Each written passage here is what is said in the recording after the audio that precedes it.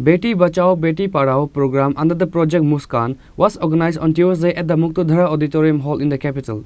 Minister Tinku Roy inaugurated the program by lighting the lamp.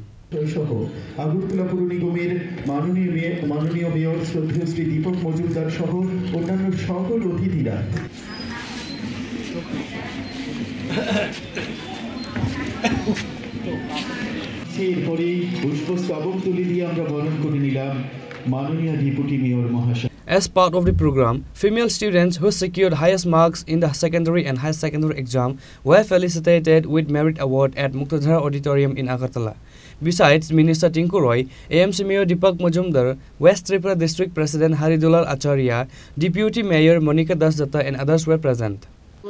পরবর্তীত ভারতে আমরা যদি দেখি আজকের দিনে দাঁড়িয়ে আমাদের মেয়েরা অনেক স্বনির্ভর হয়েছে আরও প্রয়াস সরকারের তারা যেন নিজের পায়ে দাঁড়াতে পারে আর্থিকভাবেও সামাজিকভাবেও। আমরা ত্রিপুরায় যারা আছি আমরা গর্ববোধ করি আমাদের মেয়েদের উপরে। আজ আমাদের ত্রিপুরাতে যারা সুনামের সঙ্গে ত্রিপুরাকে রিপ্রেজেন্টেটিভ করছে, তার মধ্যে দীপা কর্মকার, আমাদের লক্ষ্মিতা রিয়াং, মৌসুমী, অস্মিতা এরকম অনেক মেয়েরা যারা ত্রিপুরার নাম উজ্জ্বল করেছে। সুরভি, আপনারা সবাই জানেন, এই সমস্ত মেয়েদের মাধ্যমে ত্রিপুরার নাম উজ্জ্বল হয়েছে। গোটা দেশে আজ আমরা যদি আমাদের বিত্তমন্ত্রী দেখি নির্মলা সীতারমন এই ধরনের গুঞ্জন, সেক্সেনা এরকম অনেক মেয়েরা যারা রয়েছে, ভারতকে রিপ্রেজেন্টেটিভ করেছে গোটা বিশ্বের কাছে। তো আমরা চাই আমাদের মেয়েরা আত্মনির্ভর হোক স্বনির্ভর হোক তারা যেন তাদের নিজের পায়ে দাঁড়াতে পারে। বেটি বাঁচাও বেটি পড়াও প্রধানমন্ত্রী যে একটা কার্যক্রম যে কার্যক্রমের মধ্যে দিয়ে গ্রামীণ এলাকার মেয়েরা যেন বেরিয়ে আসতে পারে তারা তাদের প্রতিভার বিকাশ ঘটাতে পারে। তারই এই প্রয়াস আমাদের আগরতলা আইসিডিএস প্রজেক্টের উদ্যোগে আজকে গ্রহণ করা হয়েছে। এখানে যারা